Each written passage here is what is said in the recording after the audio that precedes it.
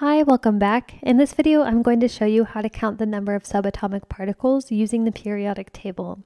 So there's a few things that we need to know about the periodic table. If we look at our key here, we see that the number at the top of a box is the atomic number. And the atomic number is the number of protons in the nucleus. So the atomic number is what identifies the element.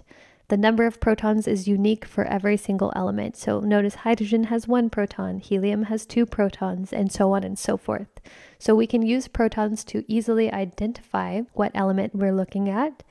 But if we're looking at a neutral atom, remember neutral means that there's no overall charge, then the number of protons, which has a positive one charge, should also be equal to the number of electrons which has a negative one charge.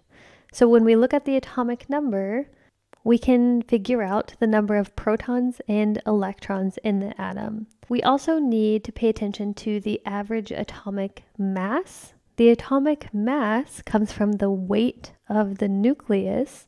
And remember, in the nucleus we have protons and neutrons. So the average atomic mass is equal to the number of protons plus the number of neutrons in the atom. So we can easily figure out the number of neutrons by taking the average atomic mass and subtracting the atomic number.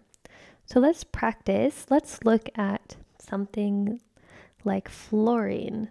So fluorine has an atomic number of 9 and a mass of 19.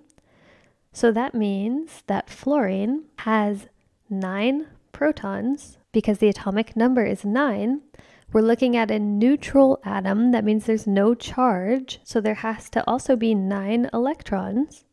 And then to find the number of neutrons, we're going to take the atomic mass minus the atomic number. Remember, the atomic mass is the number of protons and neutrons, and the atomic number is the number of protons. So if we subtract the two of those, we should find the number of neutrons.